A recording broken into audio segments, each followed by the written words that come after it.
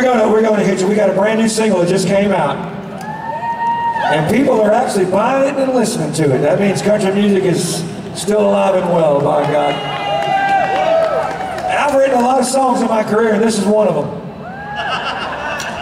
No, it's one of my favorites. It honestly is. And uh, and I just like I know everybody here loves country music, right? Would it be safe to say that you're all Countryholics?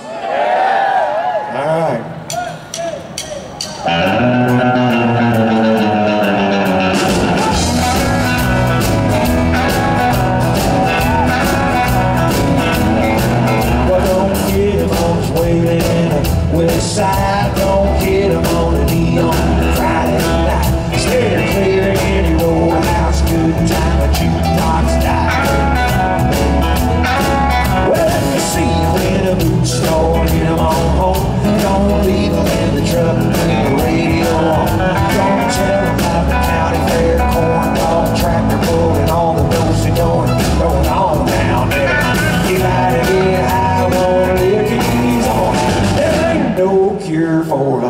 country holiday. There ain't some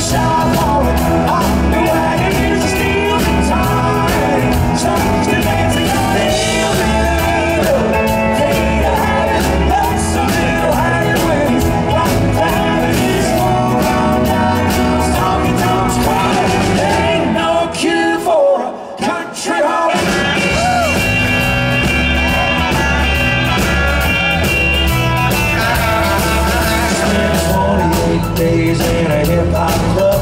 Met a hot little rocker tried to take him up. She leather and double inch slacks.